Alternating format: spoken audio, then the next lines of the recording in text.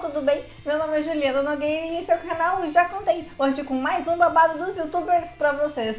Não esqueça de ativar as notificações, assim toda vez que eu postar um vídeo aqui no canal, você vai ser o primeiro a saber recebendo ali uma notificação, um pop-up no seu celular avisando que tem vídeo novo. Não esqueça também de deixar o seu joinha, se inscrever e compartilhar para que mais pessoas saibam as notícias dos nossos youtubers favoritos.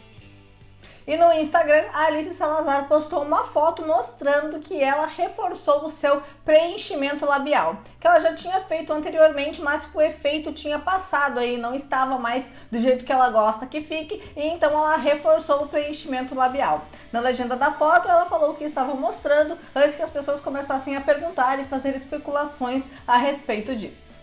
E a Karen McKinney contou no Facebook que ela está pensando em processar a sua network. Segundo ela, a rede deve a ela em torno de 15 mil reais e apesar do contrato ter encerrado há cerca de seis meses, eles não encerram o vínculo. Nos comentários dessa publicação, outros youtubers também manifestaram o mesmo desejo que a network está fazendo a mesma coisa com eles.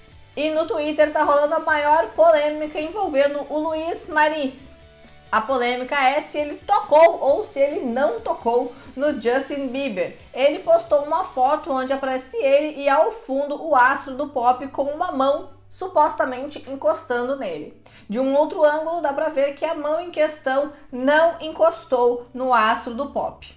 Uma menina postou nas redes sociais que aquela mão era dela e não do Luiz. E portanto, nem ela nem o Luiz teriam encostado no astro ele fez um retweet lá no seu Twitter, onde um dos seus seguidores falava que na verdade o que ele quis dizer com aquela foto e com aquele tweet é que ele encostou sim no Justin Bieber, mas não registrou o momento. Que aquela foto era uma foto após ele ter encostado no astro do pop.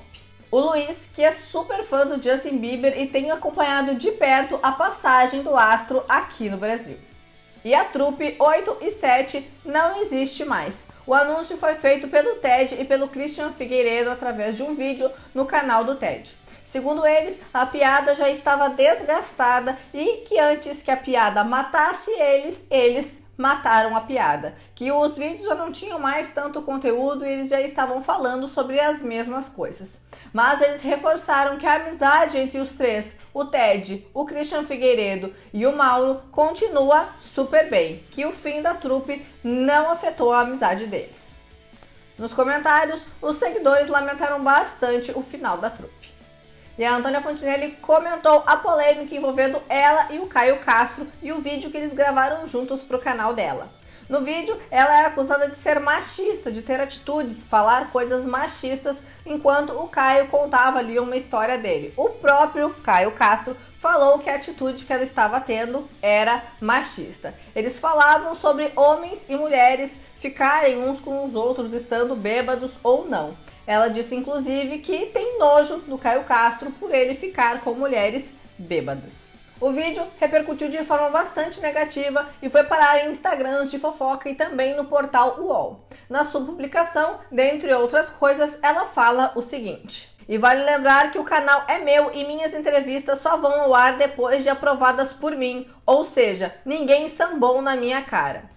Como eu disse, trata-se de dois amigos divergindo sobre um tema. Disse e repito: cu de bêbado não tem dono. Sinto muito por quem acha normal sair para balada, beber, vomitar, esquecer o nome, perder a dignidade, ficar na mão do palhaço e achar que é normal. Sinto mesmo, de verdade. Bom, pessoal, esses foram os babados dos youtubers de hoje. Eu espero muito que vocês tenham gostado. Não esqueça de deixar o seu joinha, ele é muito importante. Me segue lá no Instagram, eu posto outras coisas aleatórias. Erro Lulu, cachorros, unhas, look, bobagens.